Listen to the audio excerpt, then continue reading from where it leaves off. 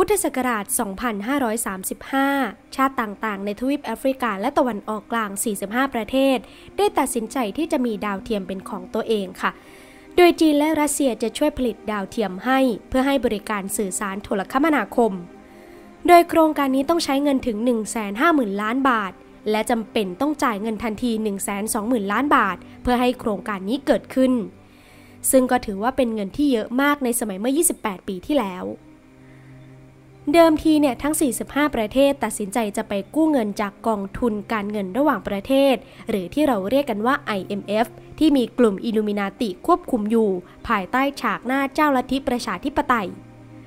แต่ด้วยปัญหาสงครามในอิรักหลายครั้งที่เจ้าลัทธิอ้างว่าต้องกำจัดซัดดัมฮุสเซน จึงหาเหตุฆ่าคนมุสลิมตายเป็นผักเป็นปลา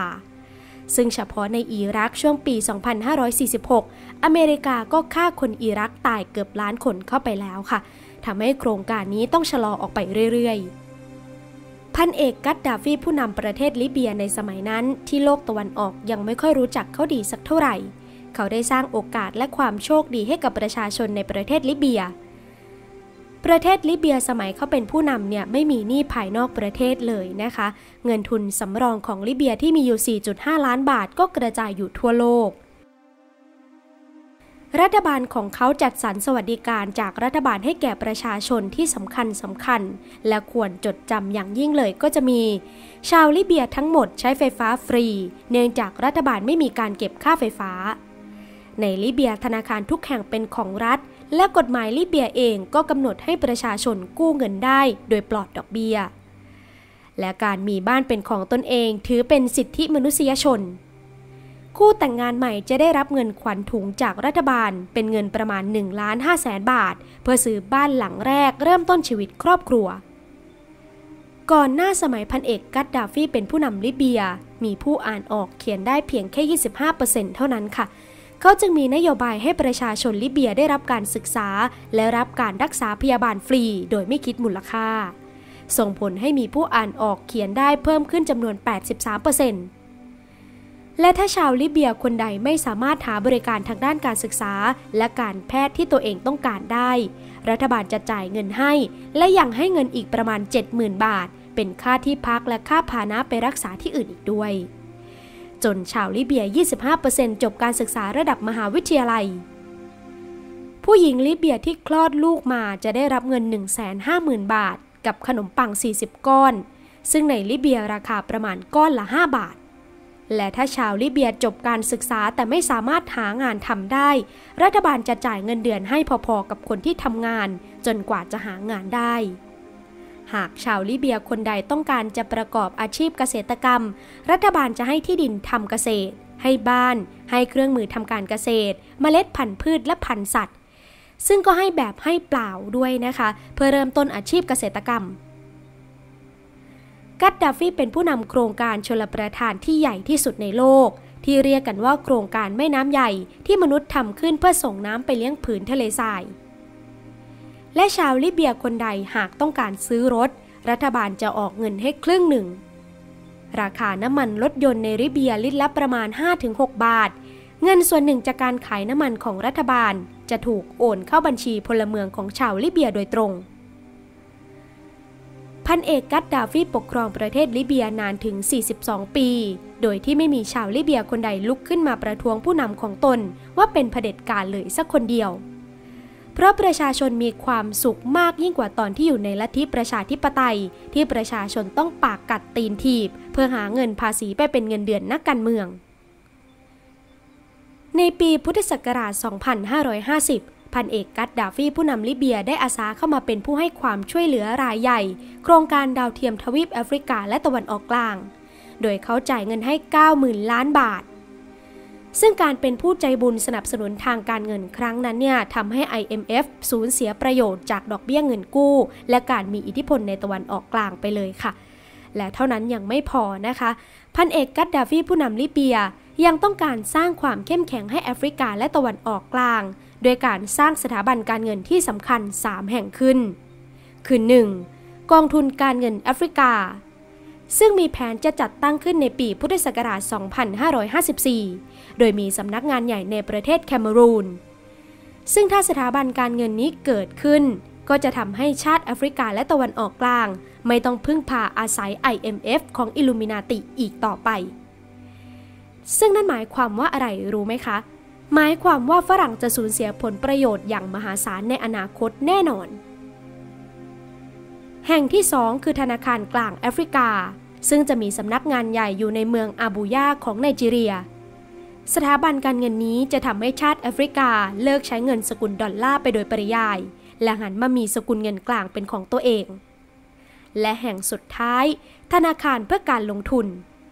ซึ่งจะเปิดขึ้นในประเทศลิเบียนี่แหละค่ะ และธนาคารนี้จะควบคุมการลงทุนในแอฟริกาและตะวันออกกลาง เพราะชนชาติผิวขาวดูถูก และเอารัดเอาเปรียบแถมกดขี่ขูดรีดชนชาติผิวดำซึ่งส่วนใหญ่เป็นชาวแอฟริกามานานแล้วด้วย พันเอกกัตดาฟีผู้นำลิเบีย จึงคิดจะปลดปล่อยคนแอฟริกาให้พ้นจากการเป็นทาสของชาติตะวันตก ผู้นำชาติต่างๆ ในทวีปแอฟริกาและตะวันออกกลางจึงเห็นชอบร่วมกันในโครงการดังกล่าว แต่มหาอำนาจเจ้าลัทธิประชาธิปไตยและชาติยุโรป ต้องไม่เห็นชอบด้วยอย่างแน่นอนค่ะ ขัดขานหัวชนฝากันเลยทีเดียว เพราะตัวเองจะเสียผลประโยชน์อย่างมากมายมหาศาลเหลือเกิน พันเอกกัตตาฟีผู้นำลิเบียยังต้องการที่จะรวมชาติต่างๆ ในแอฟริกา ให้เป็นสหรัฐแอฟริกาด้วย เหมือนกับสหรัฐอเมริกานั่นแหละค่ะ ซึ่งถ้าหากชาติแอฟริการวมตัวกันได้เมื่อไหร่สหรัฐแอฟริกาก็จะเป็นชาติใหญ่ที่มีอำนาจต่อรองมากขึ้น และถูกเอารัดเอาเปรียบน้อยลง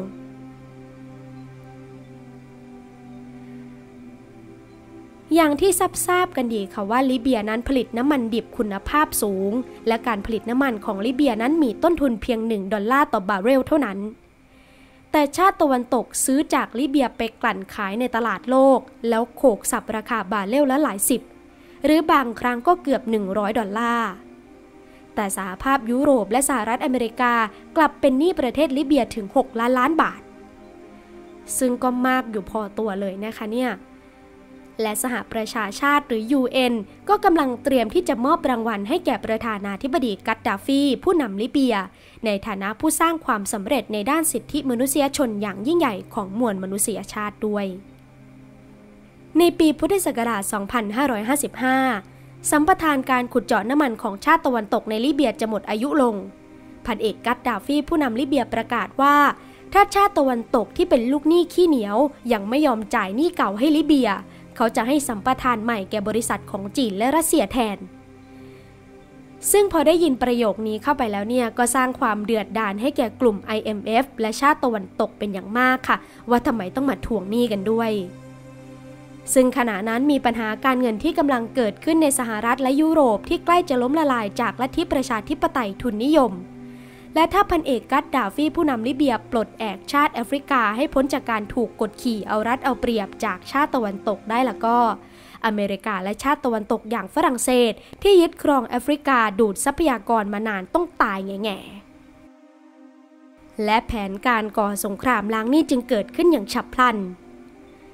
มีการประโคมเต้าข่าวดื้อๆจากสื่อยูไซออนิสใหญ่ ๆ ของโลก ว่าพันเอกกัตดาฟี่เข็นฆ่าสังหารประชาชนของตนเอง เพื่อพยายามหลอกลวงต้มตุ๋นชาวโลกที่อยู่ห่างไกลออกไป พอได้ยินดังนั้นเนี่ยมีแต่ประชาชนชาวลิเบียเท่านั้นค่ะที่รู้ว่ากัตดาฟี่จะเข็นฆ่าประชาชนของตัวเองทำไม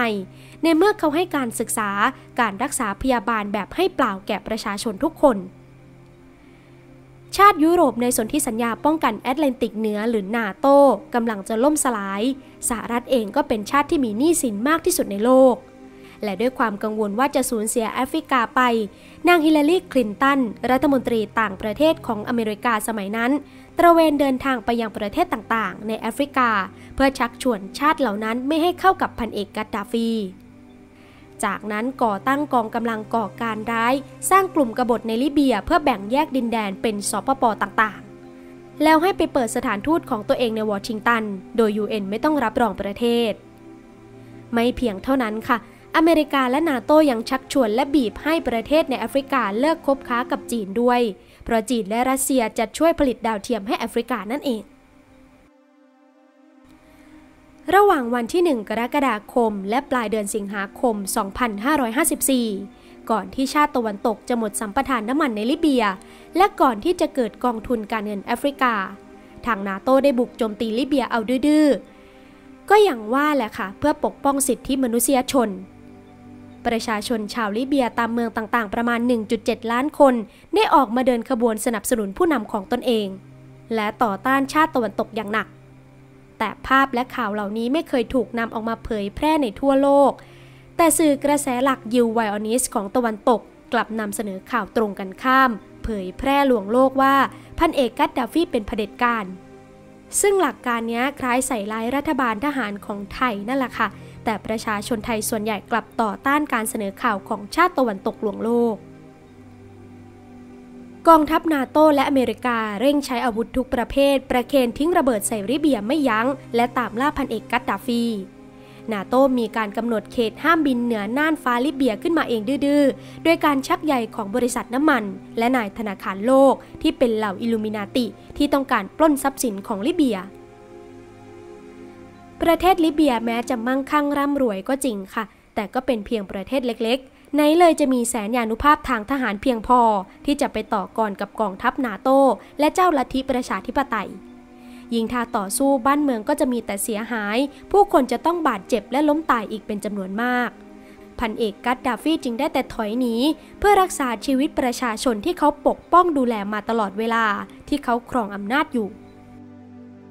กองกำลังนาโต้ไม่มีเหตุผลเพียงพอที่จะส่งทหารจากชาติของตน เข้าไปปฏิบัติการสงครามในลิเบียค่ะ ทหารกบฏที่ไล่ล่าพันเอกกัดดาฟีจึงไม่ใช่ทหารลิเบีย แต่เป็นทหารรับจ้างจากสหรัฐอาหรับเอมิเรตและกาตาร์ที่นาโต้ส่งเข้าไปแทน หลักการคล้ายๆ กับกองกำลัง ISCIA ที่อเมริกาและนาโต้ส่งเข้าไปก่อสงครามในซีเรีย เพื่อโค่นล้มนายอัสซาดผู้นำของประชาชนเขาในตอนนั้น และสุดท้ายในที่สุดเขาก็ถูกทำร้ายต้องจบชีวิตลงอย่างน่าสงสารค่ะสินผู้นำที่ชื่อว่ามูอัมมากัตตาฟีเสียแล้ว เขาไม่ทันได้รับรางวัลจากสหประชาชาติที่จะมอบให้กับเขาในฐานะผู้สร้างความสำเร็จ ในด้านสิทธิมนุษยชนอย่างยิ่งใหญ่ของมวลมนุษยชาติ เงินทุนสำรองของประเทศลิเบียก็ถูกอายัดหมด โดยชาติมหาอำนาจหนี้สินของชาติมหาอำนาจตะวันตกที่มีต่อลิเบียก็ถูกเบี้ยวไม่ได้คืนมาสักบาท แหล่งสัมปทานน้ำมันในลิเบียถูกชาติตะวันตกยึดไปจนหมดสิน้น เกิดความแตกแยกระสำระสาย เกิดสงครามกลางเมืองในลิเบียอีก ชาวลิเบียไม่ได้สวัสดิการเหมือนที่เคยได้รับจากกัดดาฟี ผู้นำคนเก่าอีกเลย ประเทศลิเบียของพวกเขาทุกวันนี้เต็มไปด้วยกลุ่มก่อการร้ายของอเมริกาและตะวันตกที่ฆ่าคนเล่นทุกวันเหมือนผักปลา อยากจะจับใครไปฆ่าก็ทำตามอำเภอใจ สนามบินสุดหรูก็กลายเป็นที่ยิงจรวดแย่งอำนาจกันของกลุ่มการเมืองหลายกลุ่ม ที่ชาติตะวันตกหนุนอาวุธให้มายิงกัน เสียงปืนดังระงมกึกก้องไปทั่วเมืองใหญ่ของลิเบียจนถึงทุกวันนี้ จนคนงานชาวไทยอยู่ไม่ได้ รัฐบาลทหารของไทยต้องสั่งอพยพกลับด่วน และที่เพิ่งช็อกโลกอีกก็คือมีรายงานอย่างเป็นทางการจากกลุ่มเฝ้ามองระบบยุติธรรม หรือ Judicial Watch ว่าหลังจากโค่นล้มประธานาธิบดีกัดดาฟีผู้นำลิเบียในเดือนตุลาคม 2554 แล้ว ต่อมาราวหนึ่งปีในเดือนสิงหาคมปี 2555 โอบามาผู้นำเจ้าลัทธิประชาธิปไตย เป็นผู้สั่งการให้ CIA ฝึกนักรบกลุ่มไอซิสและสั่งให้นำอาวุธทางทหารของลิเบียมารวมกันในคลังอาวุธเมืองเบงกาซีของลิเบีย จากนั้นก็สั่งกองกำลัง ISCIA ปล้นอาวุธลิเบียที่เก็บเอาไว้จากเมืองเบงกาซี แล้วส่งออกจากเมืองท่าเบงกาซี ไปยังเมืองท่าบาเนีย และเมืองท่าบ่ออิสลาม ในประเทศซีเรีย อาวุธที่อเมริกาปล้นไปประกอบด้วยปืนยาวลอบสังหาร จรวด RPG ปืนใหญ่ขนาด 125มิลิเมตรและ 155มิลิเมตร เรือที่ลำเลียงอาวุธเป็นเรือขนาดกลาง บรรจุตู้คอนเทนเนอร์ได้ประมาณ 10 ตู้ค่ะ แล้วขนย้ายอาวุธที่ปล้นลิเบียไป ซึ่งก็เอาไปให้กองกำลังฝ่ายกบฏ กลุ่มอันนุสลาฟลอน กลุ่มก่อการร้าย ISCIA รวมทั้งกลุ่มก่อการร้ายมุสลิมอื่น ๆ ในซีเรีย สิ่งที่เกิดขึ้นตามมาชวนช็อกอีกก็คือ หลายสัปดาห์หลังจากอาวุธเหล่านี้ถูกส่งออกไป เจ้าหน้าที่ทูตสหรัฐ 4 คน รวมทั้งเอกอัครราชทูตก็ถูกสังหารปิดปาก โดยฝีมือของกลุ่ม ISCIA ชาติมหาอำนาจตะวันตกจึงใช้นโยบายแบ่งแยกและปกครอง และแบ่งแยกและทำลาย ซึ่งถ้าเห็นว่าประเทศใดดีกว่ามีความรักใคร่กลมเกลียวกัน ก็จะหาทางให้คนในประเทศนั้นทะเลาะเบาแวงกัน โดยเร่งให้เข้าสู่ลัทธิประชาธิปไตย และพยายามทำให้คนในประเทศนั้นๆคลั่งการเลือกตั้งเป็นที่สุด พอได้ฟังประโยคนี้แล้วรู้สึกคุ้นๆบ้างไหมคะทุกคน พอทำให้คนคลั่งการเลือกตั้งแล้วเนี่ยก็ทำให้ผู้คนหมกมุ่นกับสิ่งฟุ้งเฟ้อค่ะ และไม่ใส่ใจการศึกษาแถมไม่ถอดบทเรียน เพื่อที่พลเมืองในประเทศนั้นๆเนี่ยจะได้ไม่รู้เท่าทันเล่ห์เหลี่ยมของตน ขั้นสุดท้ายคืออะไรรู้ไหมคะขั้นสุดท้ายก็คือการตั้งผู้ปกครองที่สั่งซ้ายหันขวาหันได้ขึ้นมาปกครองประเทศแทน แล้วทำการทวงบุญคุณ ครอบงำและมีอิทธิพลเหนือรัฐบาลอย่างแท้จริง แล้วก็อ้างว่าเพื่อสิทธิมนุษยชน ชาติตะวันตกใดที่มีพฤติกรรมเช่นนี้กับไทย ขอให้รู้ไว้เถอะค่ะว่าเขาหวังผลประโยชน์จากทรัพยากร และผลประโยชน์จากประเทศของเรา เขาไม่ได้จริงใจใด ๆ กับเรา ดังนั้นสิ่งที่เราควรทำก็คือสามัคคีดื้อนิ่งไม่ต่อต้านตรงๆ แต่ทำสิ่งตรงกันข้ามกับที่เขาต้องการ แล้วชาติเราอาจจะปลอดภัย ถ้าใครฟังคลิปนี้แล้วชอบก็อย่าลืมกดไลค์กด Subscribe เพื่อเป็นกำลังใจในการทำคลิปต่อไปของแบมด้วยนะคะ แล้วไว้เจอกันใหม่คลิปหน้าสำหรับวันนี้แบมขอตัวลาไปก่อน ขอบคุณและสวัสดีค่ะ